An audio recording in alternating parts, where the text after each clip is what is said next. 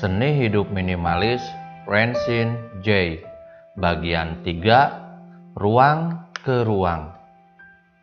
Subjudul Ruang Tengah atau Ruang Keluarga. Pada bab ini kita akan berfokus pada ruang tengah atau yang mungkin Anda sebut ruang keluarga. Dalam konteks ini, ruang tengah merujuk pada tempat keluarga dan tamu terdekat berkumpul. Ruang tengah pada umumnya merupakan ruang terluas di rumah dan juga tempat sebagai besar kegiatan berlangsung.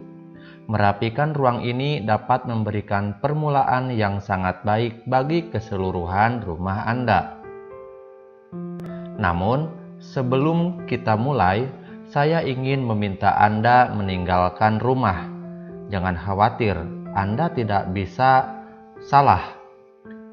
Silakan berdiri, berjalan keluar, dan tutup pintu. Di luar, jernihkan pikiran Anda dan nikmati udara segar selama beberapa saat. Nanti, setelah kembali masuk, Anda akan melihat bahwa saya sudah berhasil merapikan rumah Anda menggunakan kekuatan ajaib minimalis. Bercanda, tentunya melalui kegiatan ini ada pesan yang ingin saya sampaikan. Nah, sekarang silahkan masuk lagi, dan saat Anda berjalan melalui pintu masuk, anggap saja Anda bukan penghuni rumah itu Masuki rumah dan anggap diri Anda seorang tamu dengan mata dan sudut pandang yang berbeda. Apa kesan pertama Anda? Apakah Anda menyukai apa yang Anda lihat? Apakah ruang tengah di rumah itu terasa nyaman dan membuat Anda merasa tenang? Mengundang Anda untuk bertamu? Atau jangan-jangan ruang itu semrawut dan kacau sehingga membuat Anda ingin cepat-cepat keluar? Bayangkan, jika semua barang di sana bukan milik Anda, apakah Anda mau duduk dan berada di tengah-tengahnya? Kita perlu melihat dengan cara pandang berbeda karena keadaan kacau di rumah bisa hilang karena kita terlalu terbiasa berada di dalamnya. Jika sebuah meja disesaki majalah, pernak-pernik, perlengkapan prakarya, dan mainan anak selama berminggu-minggu, berbulan-bulan, bahkan bertahun-tahun, kita menjadi terbiasa dengan keadaan itu. Kita menjadi terbiasa melihat keranjang pakaian di sudut ruangan, buku yang ditumpuk di sisi sofa, dan DVD yang berserakan di sekitar TV. Lalu, entah bagaimana, keadaan berantakan tak lagi terlihat seperti itu di mata kita. Setelah melihat secara umum apa yang Anda hadapi, sekarang lihatlah isi ruangan dengan lebih cermat. Perhatikan baik-baik setiap perabot, bantal, dan aksesoris. Apakah barang-barang itu memiliki fungsi atau nilai keindahan? Apakah barang-barang itu terlihat serasi dan cocok di tempatnya?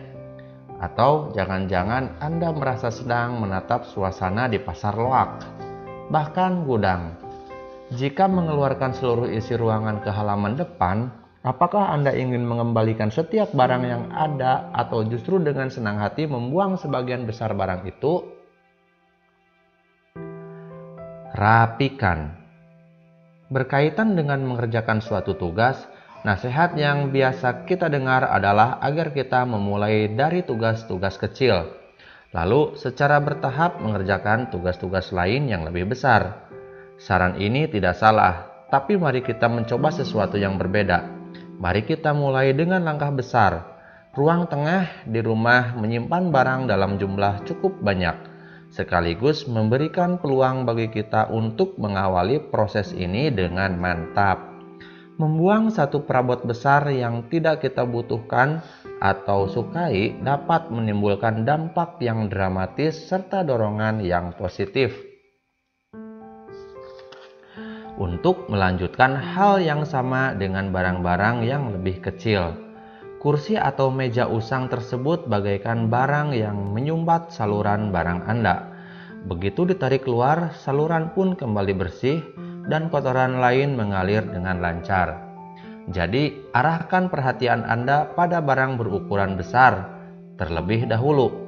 Beberapa pertimbangan yang bisa Anda terapkan adalah apakah setiap perabot digunakan setiap saat atau ada beberapa barang yang ada di tempatnya hanya karena ada dari dulu sudah begitu. Bayangkan lagi cara Anda dan keluarga menggunakan ruangan itu. Berkumpul di sofa atau lantai. Apakah ada yang suka menggunakan kursi tertentu apakah dengan lebih sedikit barang Anda akan memiliki ruang lebih luas untuk melakukan berbagai kegiatan seperti bersantai, bermain, dan menonton film?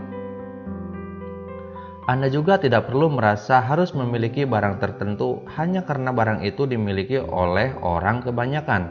Misalnya, aduh, apa kata tetangga kalau tahu kita tidak punya sofa?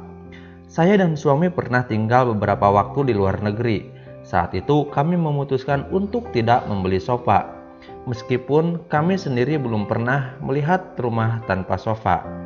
Kami merasa sofa tidak cocok dengan gaya hidup kami kala itu. Kami juga tidak membeli TV, tidak ada tamu yang sering datang, dan kami lebih banyak menghabiskan malam hari serta akhir pekan di kota. Kami pun mengisi ruang tengah hanya dengan dua kursi santai dan sebuah meja pendek ketika perabot itu sesuai dengan kebutuhan kami. Lebih dari itu, rasanya berlebihan.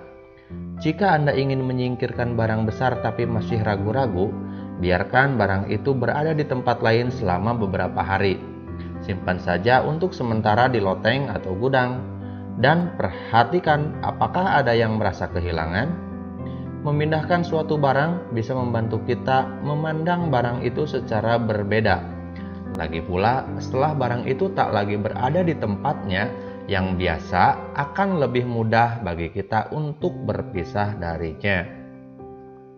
Setelah permasalahan dengan barang-barang besar selesai, kini giliran barang-barang yang lebih kecil.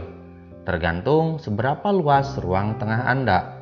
Barang ini bisa jadi berjumlah banyak Tak perlu panik karena kita bisa membagi tugas ini menjadi unit-unit tugas yang lebih kecil dan mudah dilakukan.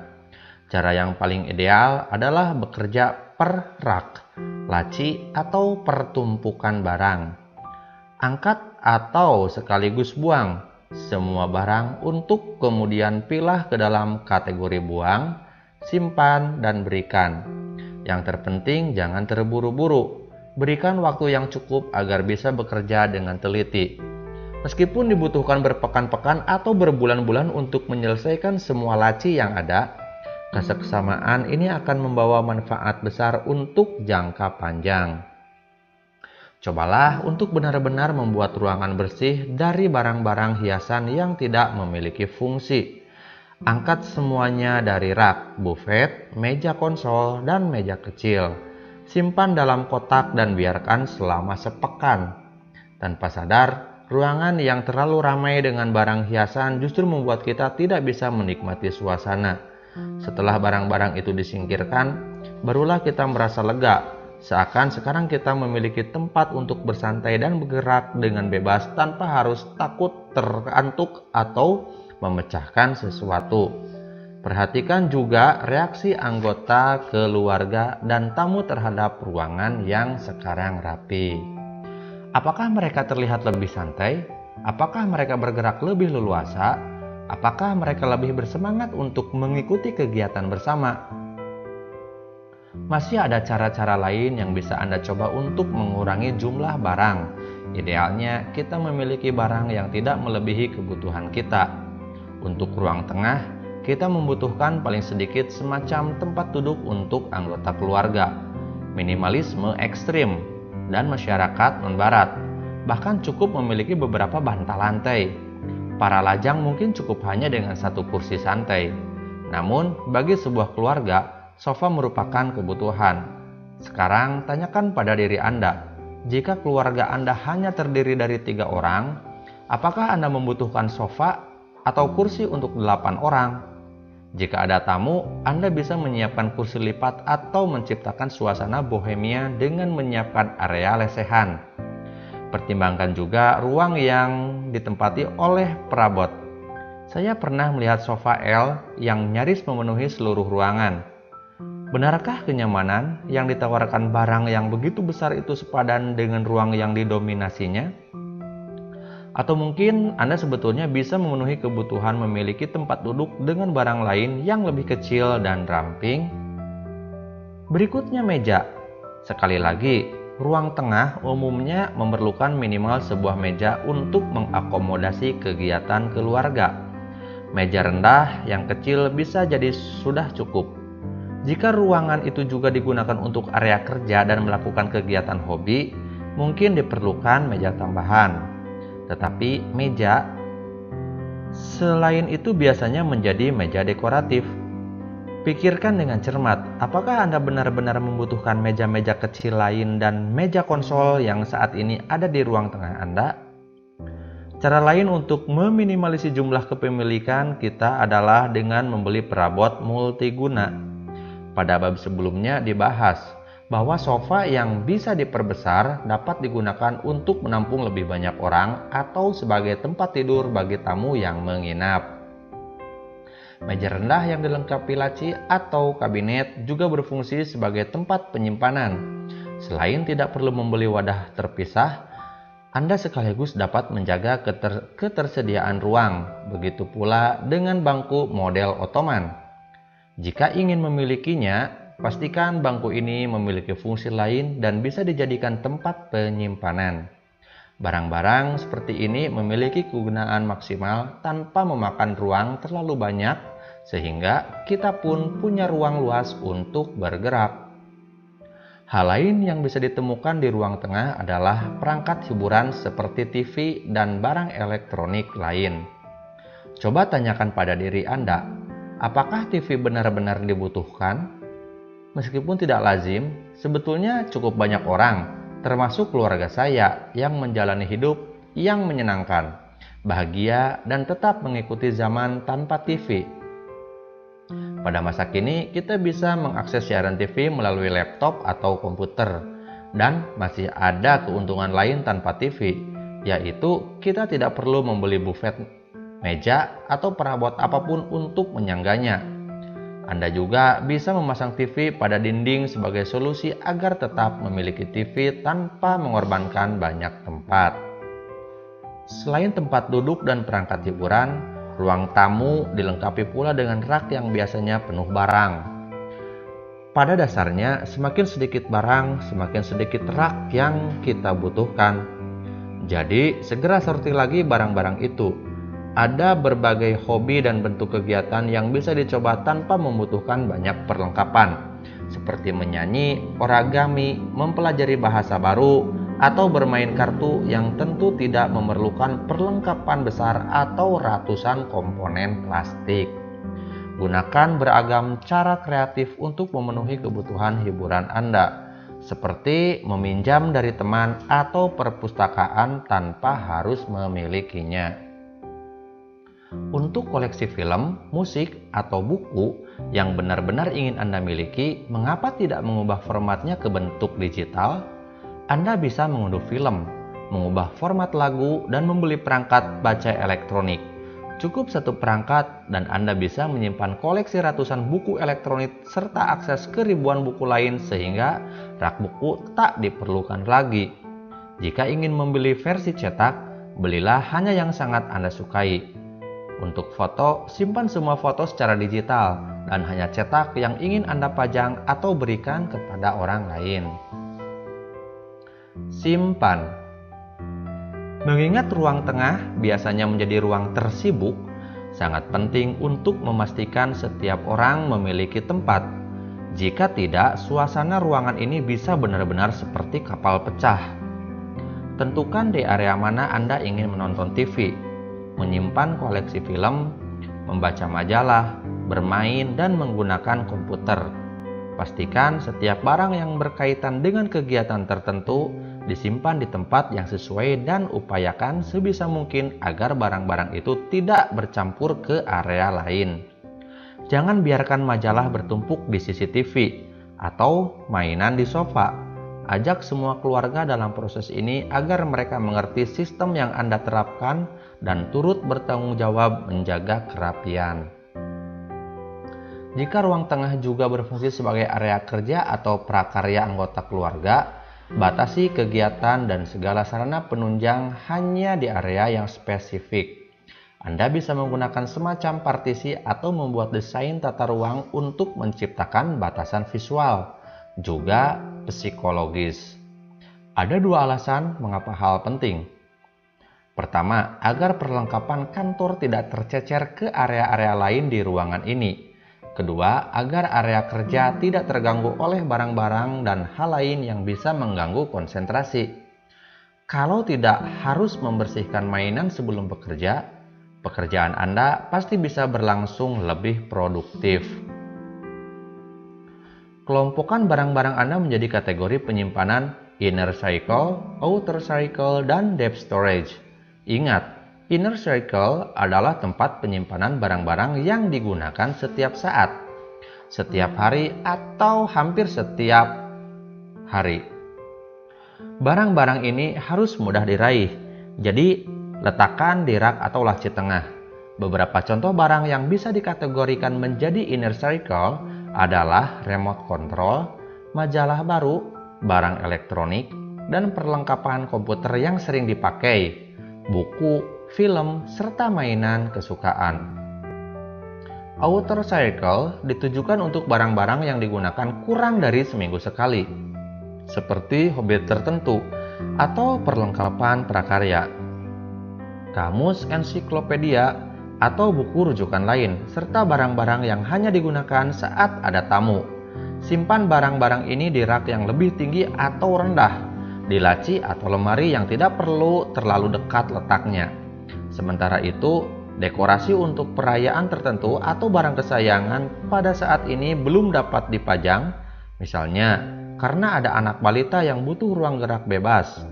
Disimpan di depth storage, tempat penyimpanan paling jauh dan paling sulit dijangkau seperti loteng, gudang, atau tempat-tempat lain yang tidak didatangi sehari-hari. Langkah berikutnya adalah membuat ruang untuk berbagai barang koleksi Anda, misalnya video game, buku, majalah, dan perangkat elektronik. Alih-alih menyatukan semuanya, pisahkan sesuai jenis barang dan simpan di rak, laci, atau wadah tersendiri.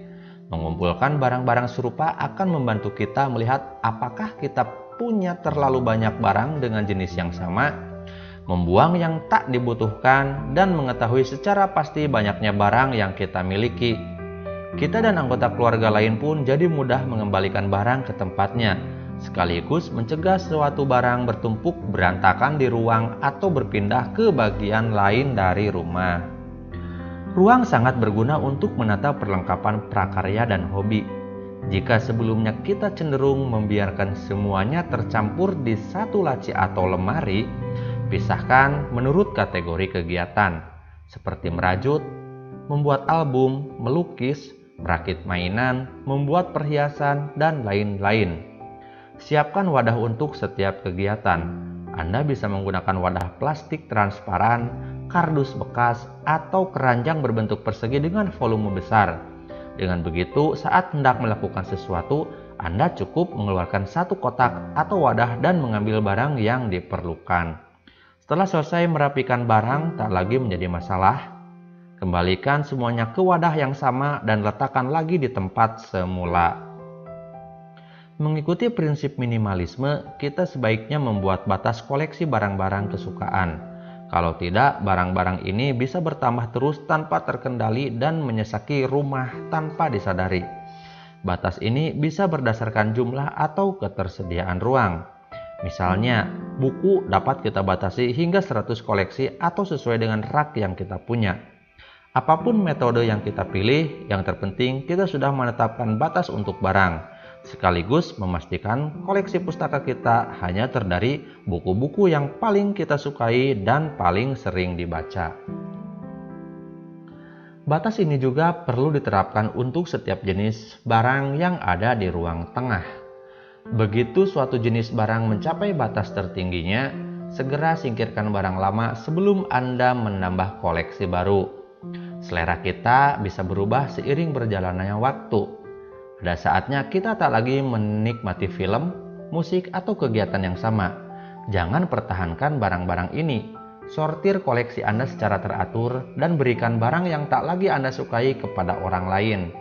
Koleksi baru dalam jumlah yang tidak berlebihan lebih menyenangkan untuk dilihat daripada koleksi dengan judul beragam. Apabila Anda selalu menginginkan sesuatu yang baru, pinjamlah dari perpustakaan sehingga tak perlu membeli. Dengan begitu, Anda bisa menikmati berbagai jenis hiburan tanpa harus memikirkan tanggung jawab sebagai pemilik atau mengeluarkan uang.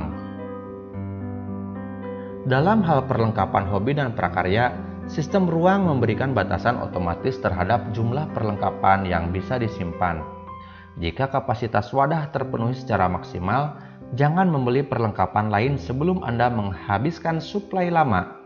Caranya, lakukan kegiatan yang sudah direncanakan, selesaikan proyek lama, atau singkirkan perlengkapan yang tidak akan dipakai lagi. Dengan menetapkan batas, Anda punya alasan untuk membuang semua barang yang tidak disukai, seperti benang berwarna hijau kekuningan, manik-manik biasa aneka, atau kain murah yang mematikan semangat hanya dengan melihatnya. Pilihlah bahan-bahan kesukaan Anda dan singkirkan sisanya. Jumlah barang hobi juga perlu dibatasi. Keinginan mengoleksi sesuatu memang merupakan sifat alamiah manusia karena selalu ada suatu masa dalam kehidupan seseorang ketika ia mengumpulkan banyak barang hanya karena didorong oleh keinginan itu. Seperti kartu bisbol, cangkir teh antik, buku edisi perdana, pernak-pernik film, koin, perangko dari luar negeri, atau pajangan keramik. Kita menikmati proses berburu dan menemukan barang-barang itu. Semakin langka, semakin dicari untuk ditambahkan ke koleksi kita. Sayangnya, internet, khususnya situs seperti eBay, telah membuat proses berburu harta karun menjadi terlalu mudah. Dulu koleksi kita otomatis terbatas karena ketersediaan barang dan akses yang tidak mudah. Kita harus secara fisik mendatangi toko barang antik dan pasar luak. Sekarang, miliaran barang bisa dilihat dengan mudah. Hanya dengan beberapa jam di dunia maya, kita akan menemukan koleksi yang padahal dulu membutuhkan waktu tahunan untuk dikumpulkan. Jadi inilah mengapa menetapkan batas kita untuk barang koleksi sangatlah penting. Batasi pembelian kita berdasarkan angka tertentu agar kita tidak sembarang membeli segala sesuatu yang kita temukan. Terakhir, batasi jumlah barang dekoratif. Rumah tradisional Jepang bisa menjadi sumber inspirasi. Di sana hanya ada satu atau dua hiasan yang dipilih dengan hati-hati untuk dipajang sepanjang waktu tertentu. Dengan begitu, Anda benar-benar dapat menghargai dan menikmati barang-barang yang paling bermakna bagi Anda. Barang-barang penting ini pun tak perlu bersaing dengan lusinan barang lain. Anda tidak perlu menyingkirkan semua barang hiasan, kecuali memang itu yang Anda inginkan.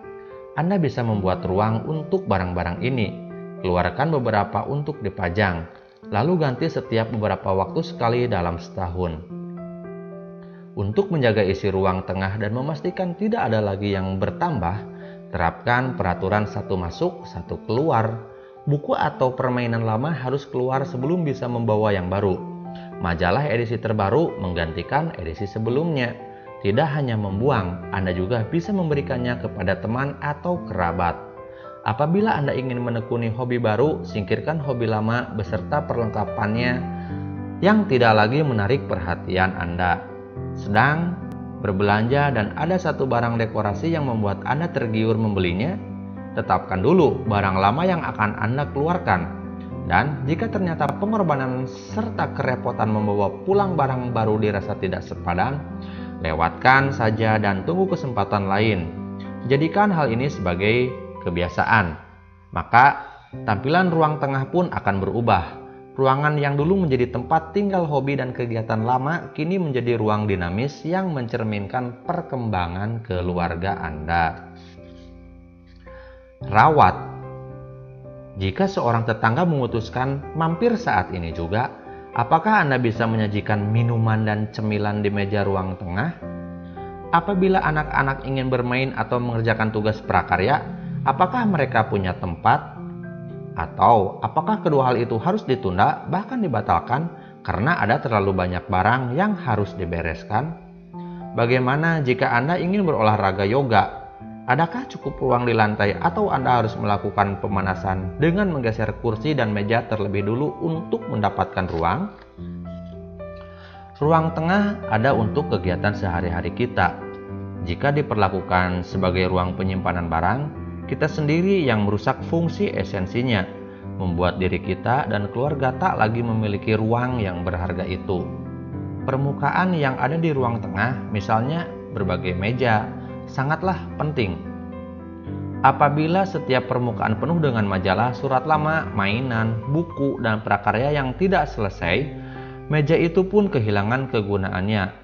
Oleh karena itu, permukaan di ruang tengah tidak seharusnya difungsikan untuk memajang koleksi piring dan boneka keramik. Permukaan-permukaan itu harusnya bisa digunakan seorang anak balita untuk menggambar, anak remaja untuk bermain dengan teman mereka, atau orang dewasa untuk menikmati secangkir kopi. Lantai sebagai bidang permukaan terluas harus dijaga serapi dan sebersih mungkin, terutama untuk anak-anak. Mereka perlu tempat untuk berkeliaran, bermain, dan bereksplorasi. Anak-anak tidak seharusnya dipaksakan masuk ke area bermain yang sempit, yang nyaris tak terlihat di antara perabot yang memenuhi dinding dan tumpukan barang yang berantakan. Orang dewasa sendiri lebih suka berada di ruang yang tenang dan apik. Bayangkan kondisi kita sepulang kerja. Kita ingin ruang tempat bersantai dan menenangkan diri, baik secara fisik maupun mental. Apa yang terjadi jika kita pulang, berjalan menuju sofa, dan terbentur barang-barang yang berserakan, atau harus melihat suasana ruangan yang semrawut? Pasti kita merasa stres, tertekan, dan kesal Sebaliknya, ruangan yang tidak disesaki barang, yang semua barang ada pada tempatnya, memberi kita cukup tempat dan ketenangan batin untuk beristirahat. Di dunia usaha ada istilah flex space yang berarti ruang kantor yang boleh digunakan siapa saja. Pegawai datang pada pagi hari mengambil satu meja yang kosong dan bekerja di ruangan itu Petang hari saat waktunya pulang, ia merapikan dan membawa pergi semua barangnya. Meja itu pun bersih dan siap digunakan orang lain keesokan harinya. Meminjam istilah ini, anggaplah ruang tengah di rumah sebagai flex space. Fungsinya sama, lantai dan permukaan harus tetap kosong. Siap digunakan untuk kegiatan yang berlangsung sepanjang hari. Begitu semua kegiatan itu selesai, semua barang dirapikan kembali sehingga dapat berguna bagi orang lain. Selain itu, kita harus selalu siap mengadang barang-barang lain. Posisi ruang tengah selalu sangat dekat dengan pintu masuk utama dan sering kali menjadi tempat perhatian pertama atau bahkan selamanya suatu barang. Oleh karena itu, kita harus sering mencermati isi ruangan kotak aneh di dekat pintu, jaket yang ditinggalkan pemiliknya di sofa, surat di meja. Bila melihat barang yang tidak seharusnya ada di sana, jangan menyerah dan lawanlah. Singkirkan setiap barang itu sejak pertama melihatnya. Jangan berikan waktu bagi barang lain untuk masuk atau tercecer di ruang tengah lebih lama. Gantungkan kembali jaket, kembalikan sepatu, buka surat, dan simpan barang-barang baru di tempatnya. Perhatikan tempat tertentu yang cenderung menjadi lokasi berkumpulnya barang, meja TV dan meja lain serta permukaan lainnya di ruang. Membiasakan diri merapikan kembali barang setelah kegiatan adalah kunci untuk memastikan barang tidak bertumpuk. Bila ada barang-barang yang masih tergeletak saat Anda sedang membersihkan lantai, jangan hindari barang-barang itu bereskan. Hal yang menantang dari ruang tengah adalah Anda akan sering menemukan barang-barang milik orang lain. Idealnya, setelah semua anggota keluarga belajar menghormati flex space di rumah dan terbiasa membawa kembali barang mereka saat meninggalkan ruangan. Masalah ini akan reda dengan sendirinya.